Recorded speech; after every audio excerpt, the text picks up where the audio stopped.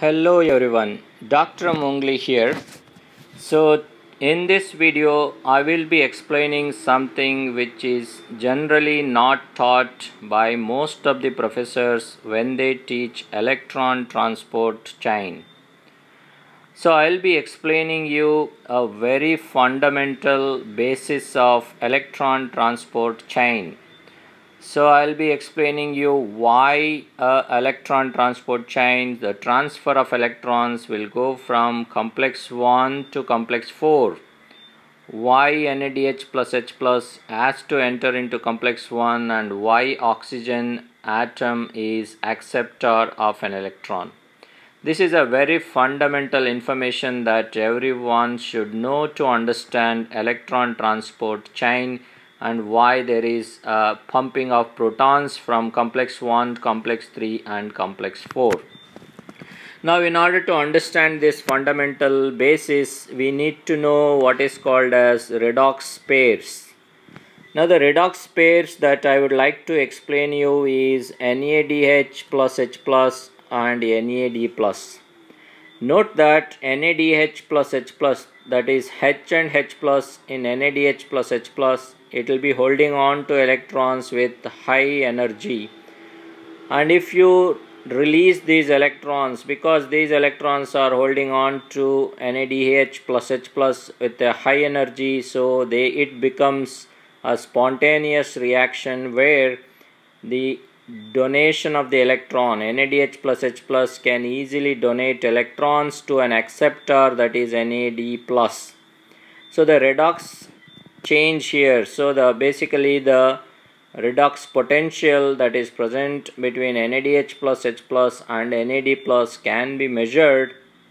So it is around minus 320 millivolt see the redox potential of NADH plus H plus to NAD plus is minus 320 millivolt which can be written as 0 minus 0.32 volt so the redox potential is nothing but it is a voltage voltage difference between NADH plus H plus and NAD plus. Now let's see what is the redox potential of the redox pair that is oxygen and water. Now the oxygen and water so the redox potential that is the voltage difference between oxygen and water this is measured around like 800 plus 820 millivolt. So which you can write it as plus 0.82 volt.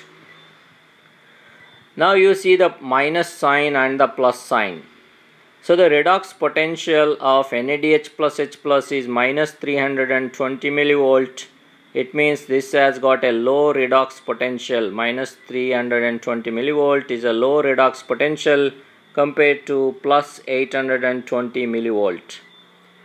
Now note that any molecule which has got low redox potential means it has got lower affinity for electrons. So low redox potential means lower affinity for electrons. It means this molecule is readily donating electrons. So this is a, it, this has got a high tendency to donate electrons.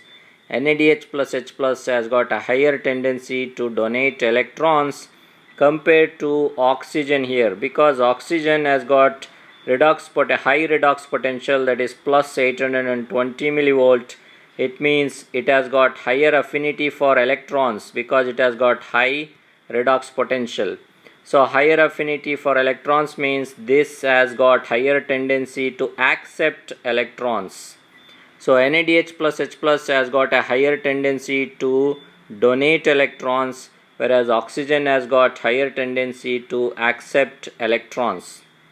Now NADH plus H plus it enters into complex 1 because complex 1 has got a little more positive redox potential means little higher redox potential than NADH plus H plus. That is why NADH plus H plus enters into complex 1 and donate electrons to complex 1 now the complex one is going to transfer electrons to coenzyme Q because the redox potential of coenzyme Q is plus 30 millivolt.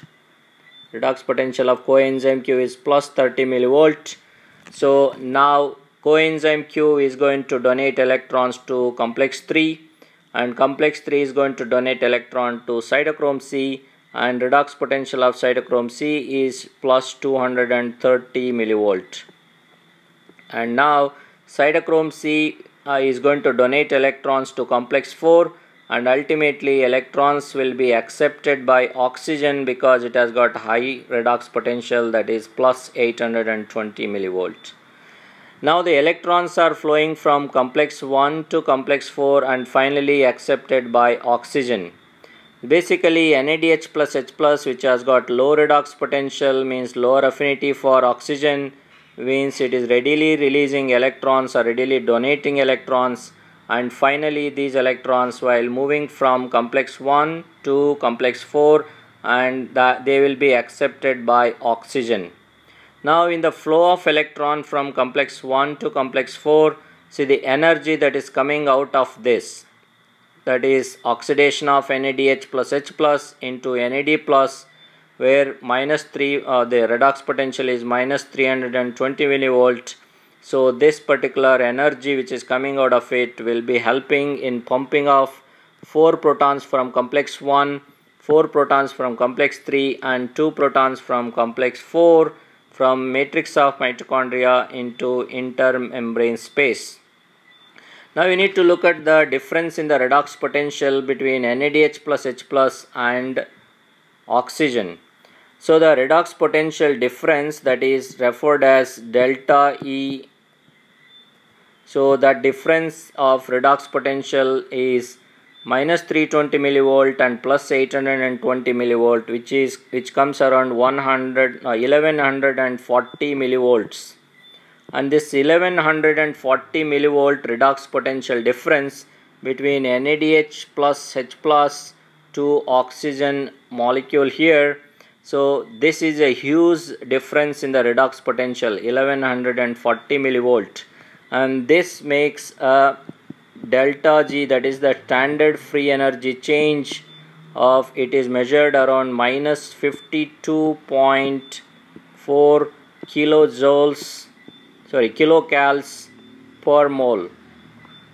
So the delta G uh, standard free energy change here that's a free energy change equals minus 52.4 kilocals per mole. This much is the energy. It's a huge energy here because of the redox potential difference between NADH plus H plus and oxygen final acceptor. So 52 minus 52.4 kilocals if you can recall breakdown of ATP ATP if you break the terminal phosphate of ATP into ADP plus pi ADP plus pi it gives uh, the delta G for this is just minus 7.3 kilo kilocals per mole. That's breakdown of terminal phosphate in ATP will give you minus 7.3 kilocals per mole. Now you compare that with the delta G of oxidation of delta uh, NADH plus H plus into NAD plus and see the redox potential and the energy that is uh, the redox potential difference between NADH plus H plus and of final acceptor oxygen is 1140 millivolt and that amounts to free energy change of minus 52.4 kilocals per mole. It means ATP to ADP plus PI gives just minus 7.3 kilocals. If you calculate that they calculate the amount of ATP sorry the amount of energy that is released during this process. It is sufficient to generate many number of ATPs so that is why it has been calculated that flow of electrons when oxidation of NADH plus H plus occurs into NAD plus when the flow of electron occurs from complex 1 to complex 4 and finally accepted by oxygen.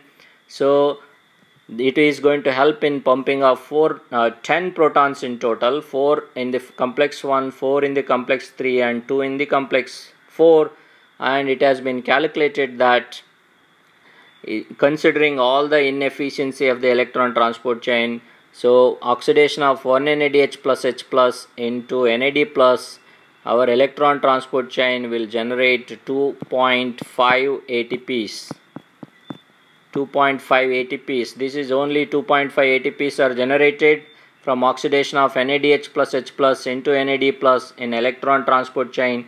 Otherwise considering the redox potential difference and delta G that should come out of this is minus 52.4 kilocals per mole but what our electron transport chain synthesizes is just 2.5 ATPs so it means we are our electron transport chain is not an efficient machinery to capture all the energy that is coming out of oxidation of NADH plus H plus.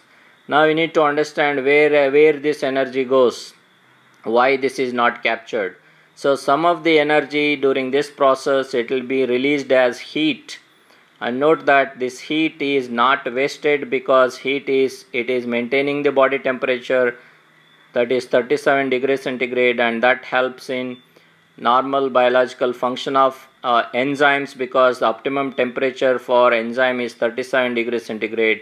And also it will keep the uh, cell keep the system exergonic overall. Thereby metabolic pathways will run in a forward direction so it means our electron transport chain is not 100% efficient in capturing energy that is coming out of NADH plus H plus into NAD plus because it's a huge energy that is minus 52.4 kilocals per every NADH plus H plus oxidized into NAD plus.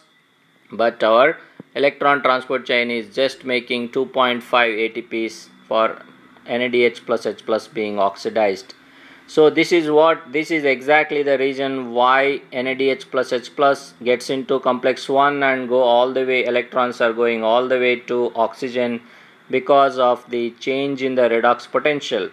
That is minus 320 millivolt to plus 820 millivolt difference of 1140 millivolt. So this you can apply, apply to FADH2 also. FADH2 enters into complex 2 because it has got little more higher redox potential than NADH plus H plus. That is why it is entering into complex 2 and from there electrons are transported from coenzyme Q and all the way to oxygen. And oxidation of FADH2 will give uh, 1.5 ATPs per oxidation of FADH2 into FAD plus. So this is the very fundamental information that everyone should remember why electron transport chain is running from complex 1 to compl uh, uh, complex 4 that is NADH plus H plus into oxygen. This is the exactly why these things will go in this direction. It is all about redox potential that everyone should remember here. That's about it. I hope this video has helped you to understand uh, the fundamental information about electron transport chain Thanks for watching and see you in my next video. Till then, take care.